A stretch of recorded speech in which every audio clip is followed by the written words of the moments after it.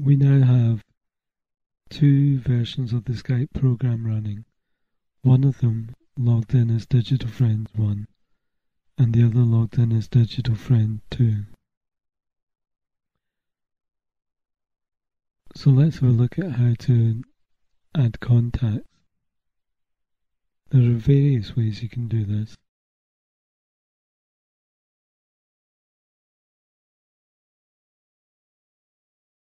You can start the add a contact dialog.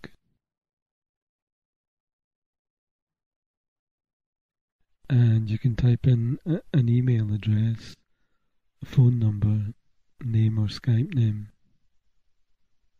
So let's type in the Skype name of the other Skype account that we've got running.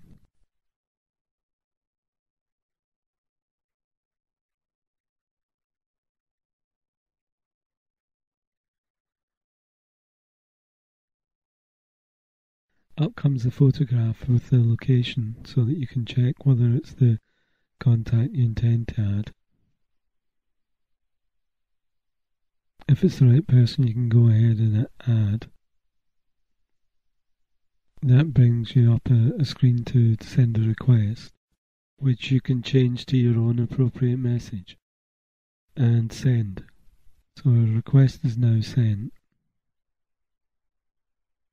and there's a feedback to confirm it.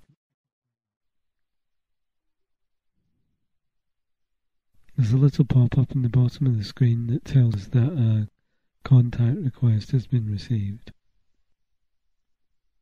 And if we go to the other account, you can see the contact request part in the panel. Clicking on that, you can then if you're satisfied from the, the photo displayed or the profile that you know the person, you can go ahead and add the contact.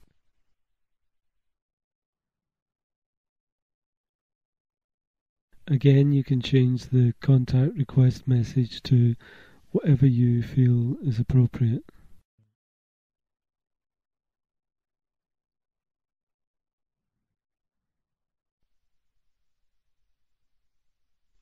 You then get a pop-up message sent back to the other person saying you would like to add them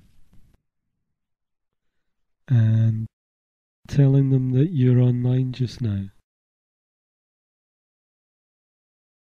You can tell that a contact is online because there's a green and white tick next to them.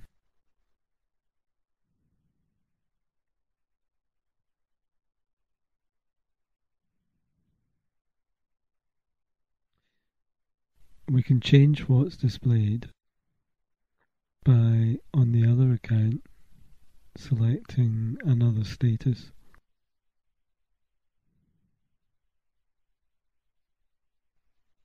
And you can see over in this one that it now reflects that digital friend 2 is not wanting to be disturbed.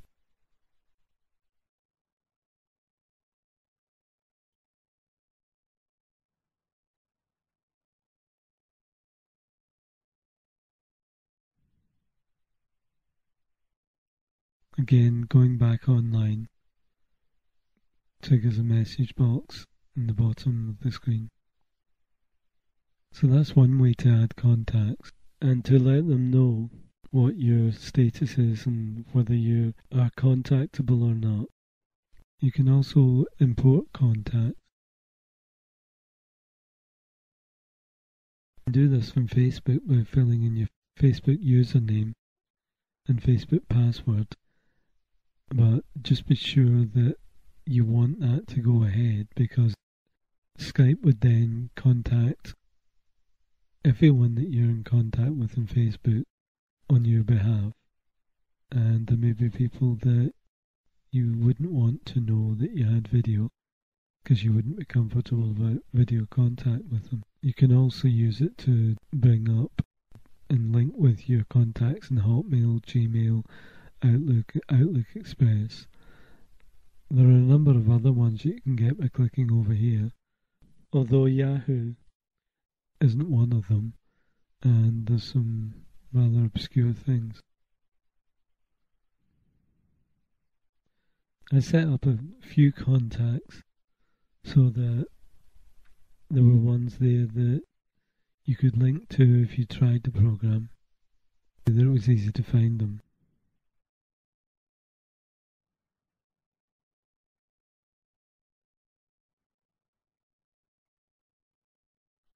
So because they all have the same email address, all five of them come up as matches.